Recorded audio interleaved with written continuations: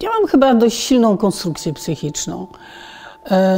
I oczywiście no, oglądanie y, zniszczeń, y, spotykanie ludzi, którzy przecierpieli e, bardzo dużo, ludzi, którzy e, stracili wszystko.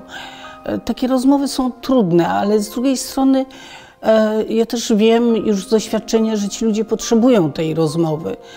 Potrzebują zetknięcia z takim normalnym światem. Bardzo często e, słyszałam od ludzi w różnych krajach, że fakt, że, że tam jesteśmy, tak, e, i też fakt, że ja jestem, bo jako osoba o kulach to, to nie jest takie oczywiste e, jeżdżenie do, do krajów, gdzie, gdzie toczą się wojny. Ale to dodawało ludziom ducha, bo e, widzieli, że można przezwyciężyć różne trudności.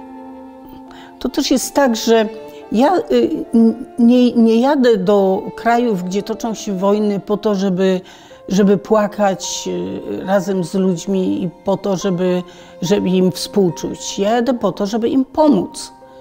Więc e, e, no, muszę w sobie zbudować taką siłę, która pozwoli mi e, e patrzeć na te trudne sytuacje, być ich świadkiem E, i e, dać ludziom taką pomoc, jakiej potrzebują, rozeznać, jaka pomoc jest potrzebna. Tak?